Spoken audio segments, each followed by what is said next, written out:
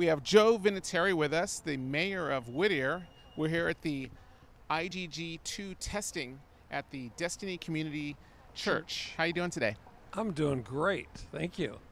Well, we're doing the uh, antibody test. This is the new IgG2 antibody test, and this is for the community to see if they have the antibodies from a vaccination. What are your thoughts on having the new antibody test happening here in Whittier? Well, I think it's great anytime during the COVID season that we can do whatever we need to do to make sure that our people are protected, and this is part of doing that. It's uh, we got to take care of our people.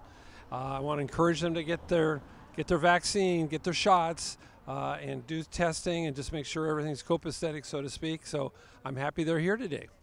With the new CDC guidelines of mask not mandatory outdoors if you're vaccinated.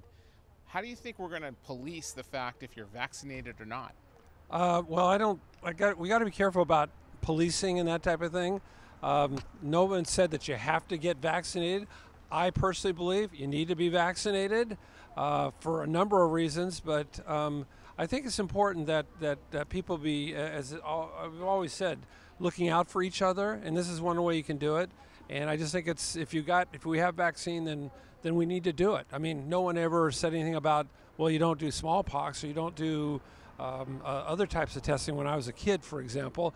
So I just think it's a good idea, and uh, I just encourage everyone to, to get themselves vaccinated our numbers are trending down. It looks like we're going to the yellow tier next week. Yes. That means bars can open without serving food at about 25%. Yes. How are the local bars in your in the city of Whittier? How are they feeling? Well, well, this is Whittier, and you need to understand in Whittier we have a Quaker uh, background and heritage here. So with our bars, we make sure that we don't have bars per se, that they have to serve food. So everyone here is a restaurant, and they can serve libation. So um, uh, we've had a number of, of restaurants opening up that serve alcohol, and it's it's gone well. It's gone fine. In fact, it's right up the street here on the Greenleaf Promenade. Um, also, with vaccinations, we now it appears that there's more vaccine than there are people that want to take them. We're getting close to that limit. Mm-hmm. Is it open vaccinations here in Whittier? Uh, at this point in time, yes. If, if people want to be vaccinated, they can get vaccinated in a number of places here. And I believe that's the case throughout uh, Los Angeles County.